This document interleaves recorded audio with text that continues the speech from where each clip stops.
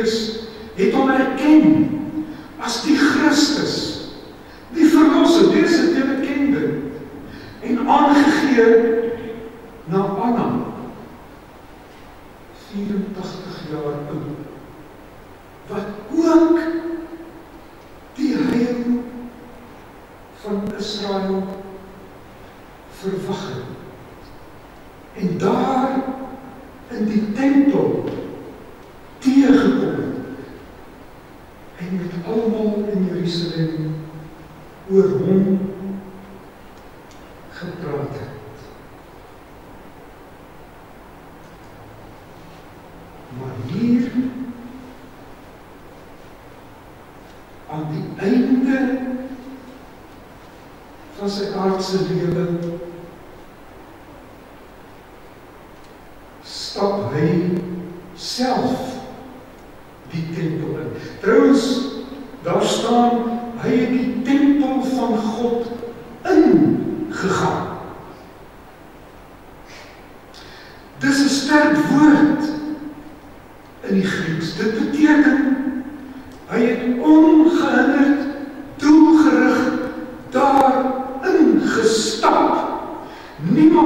como quieren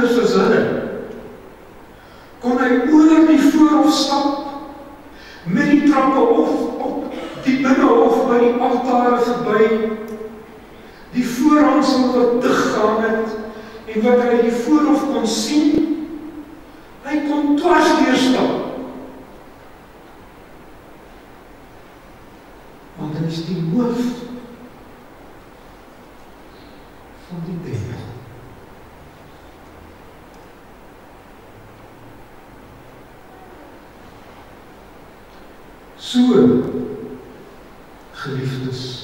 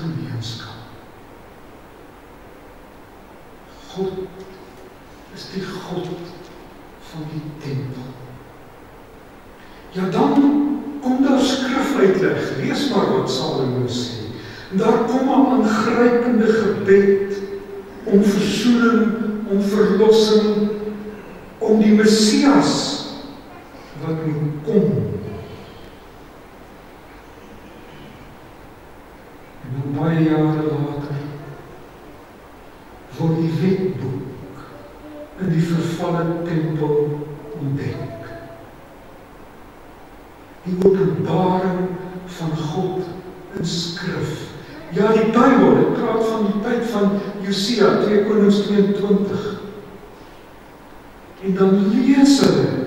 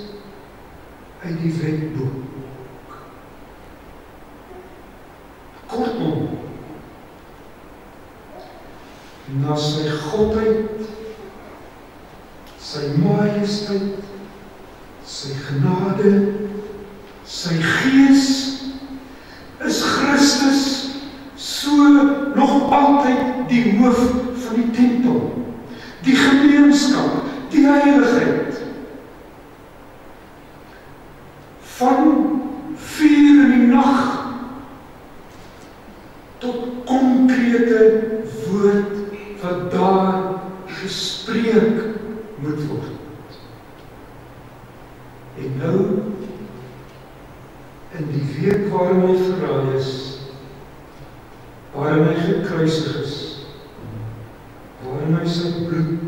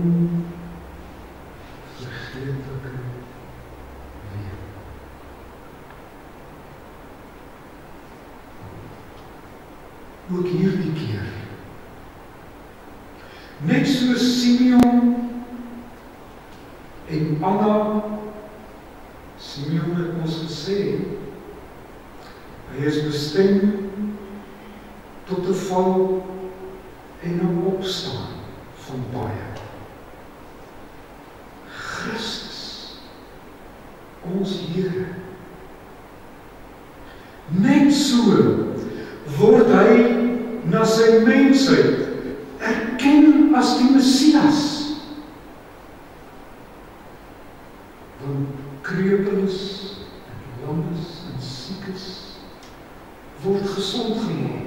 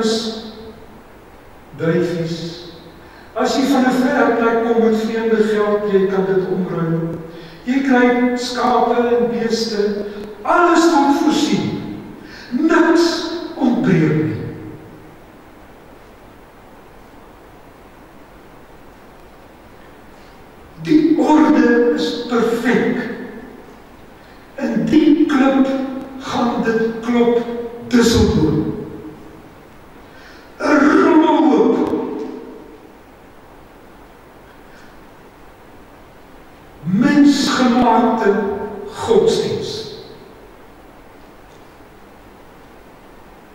Die hoof van die tempel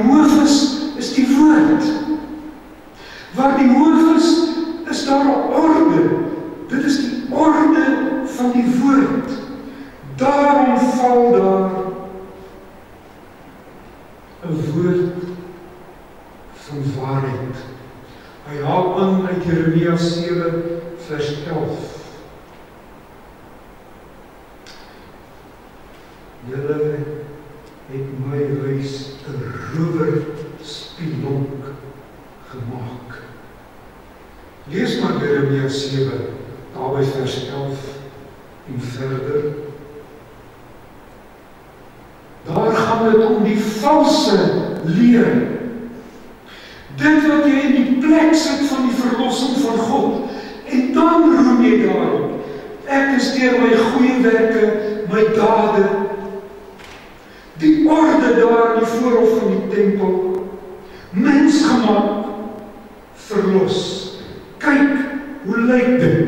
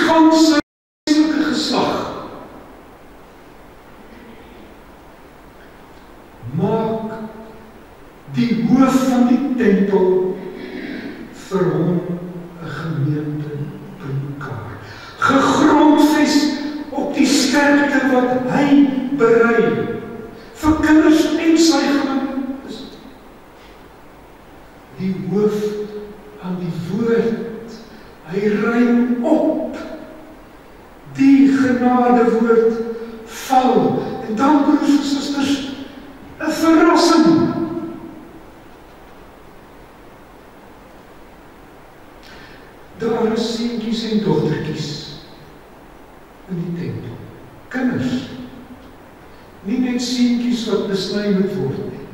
Kinders, my kinders sluit in dogtertjies ook. Deesdae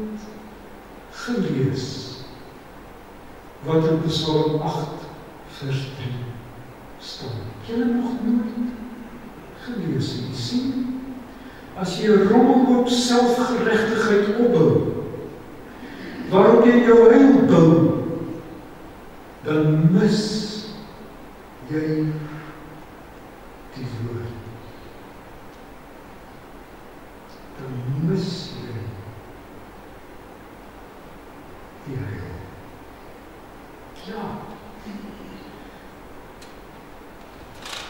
Ek berei vir myself lof in die mond van kindertjies en sy geloof.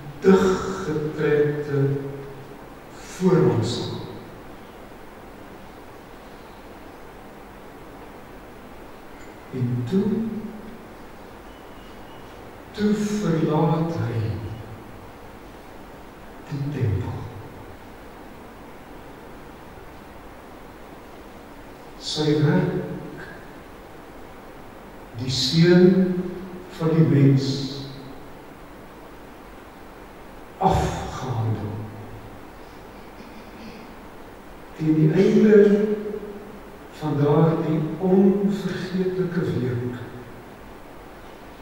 broers en susters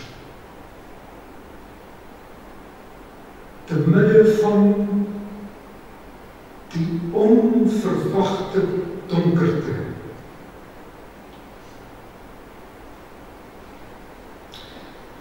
het die laaste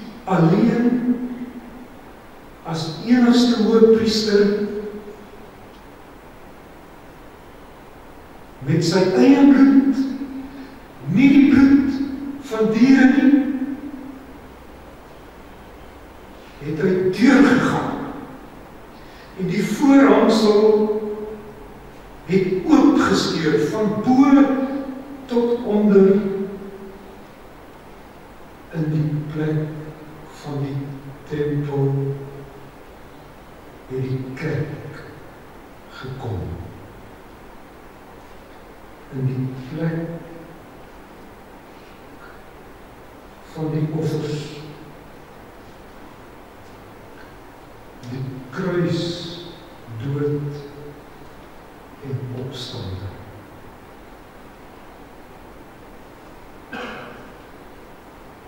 in die plek van die besnydenis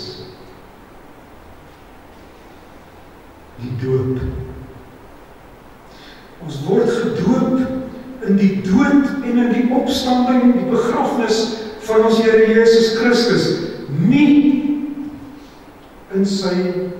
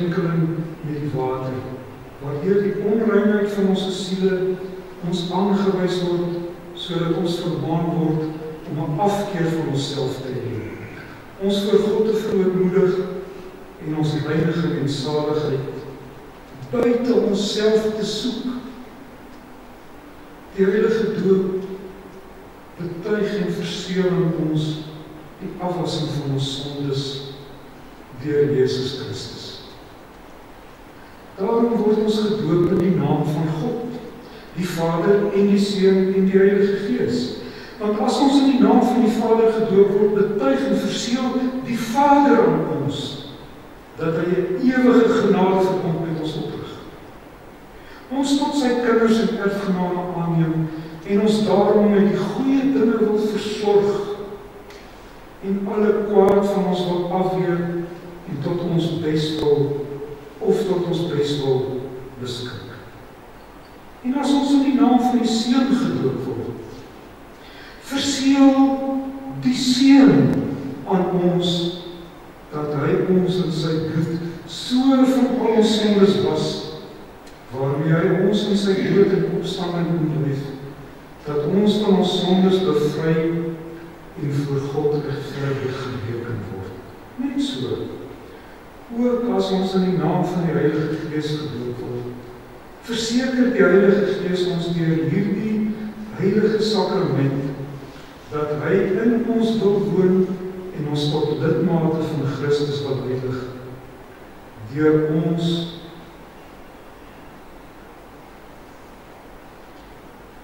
deur tot ons eiendom te maak wat ons in Christus het naamlik die afwassing van ons sondes en die daaglikse vernuwing van ons lewe sodat ons eindelik onder die gemeente van die uitverkorenes in die ewige lewe vlekkeloos gestel sal word.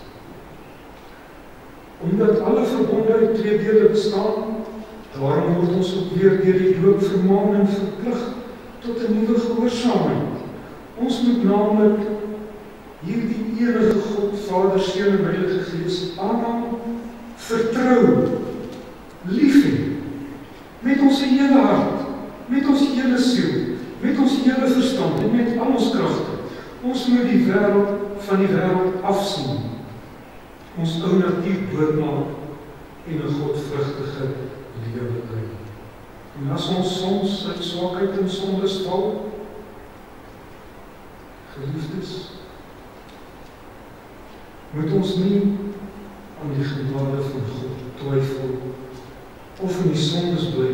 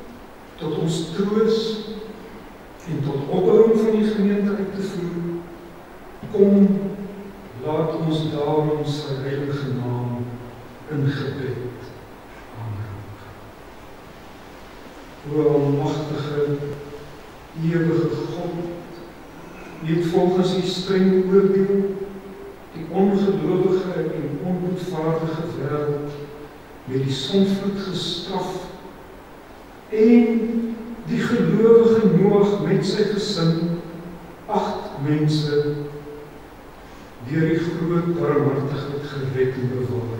U het die verharde Farao met al sy manne in die Rooi See laat verdrink en die volk Israel op droë grond daardeur gelei waardeur die dood afgebeeld is. Ons bid u kragtens u grondelose barmhartigheid dat u hierdie kindjie klein Johan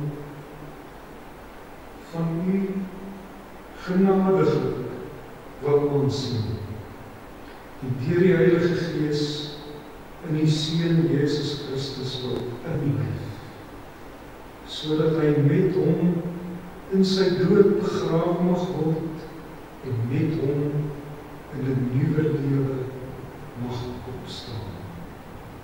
Laat hy terwyl hy hom daagliks navolg sy kruis blymoedig dra en hom aanhang met opregte geloof, vaste hoop en vurige liefde sodat hy hierdie lewe wat tog niks anders as 'n voortdurende sterwe is nie. Deur u getroos mag verdaad en op die laaste dag sonder verskrikking voor die regterstoel van Christus u seun mag verskyn. Dit bid ons deur hom ons Here Jesus Christus wat saam met u en die Heilige Gees een enige God is leef en regeer in ewigheid. Amen. Ek wil nou vra broers en susters dat Stefanie en Johan hier na vore sal kom voor die kansel sal verskyn om op die volgende vrae te antwoord. Julle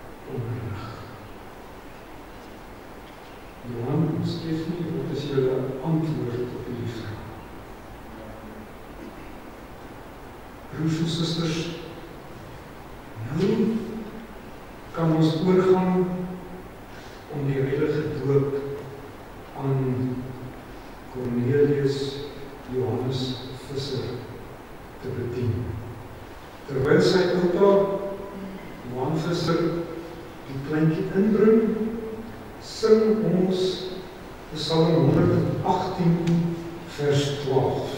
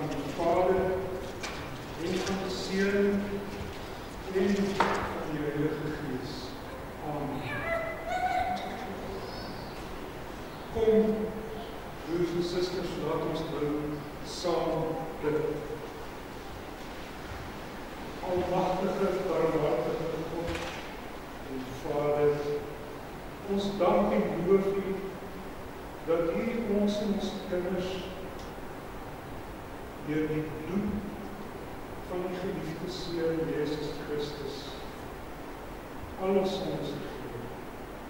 Ons die Heilige Gees tot lidmate van die enige gebore Seun en daardeur tot kinders aangeneem het.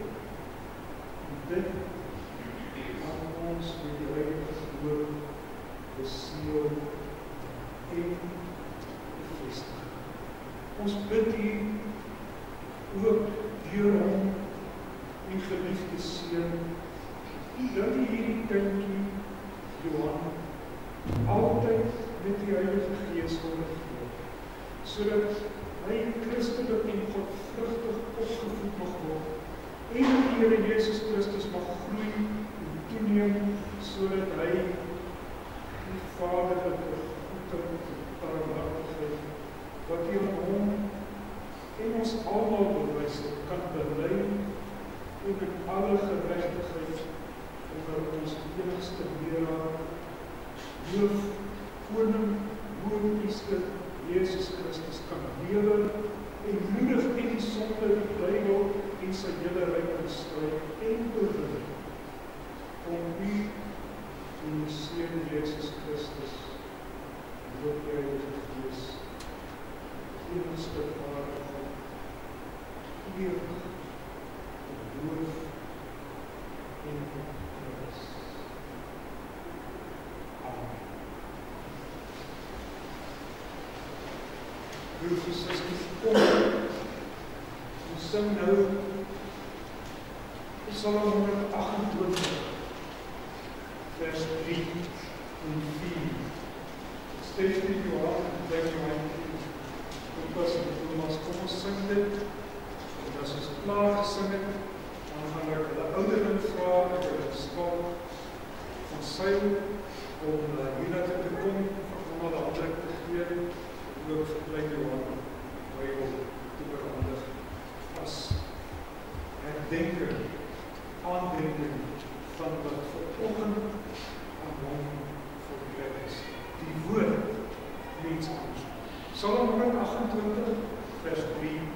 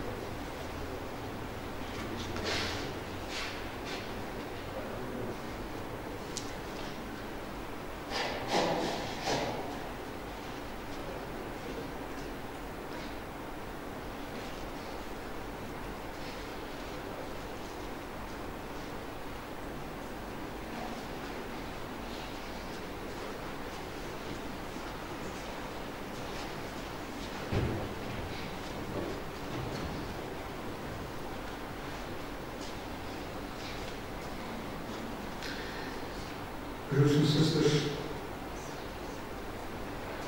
vlak voor die Here Jesus opgevaar het na die hemel het hy die doop